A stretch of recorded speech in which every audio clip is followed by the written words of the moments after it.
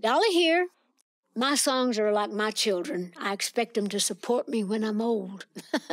and across my life, I've written thousands of songs, but here, for the first time ever, we're spotlighting 200 of my favorites in my new book called Songteller.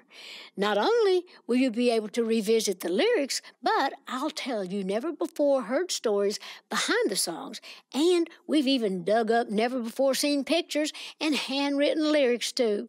A song teller is what I am.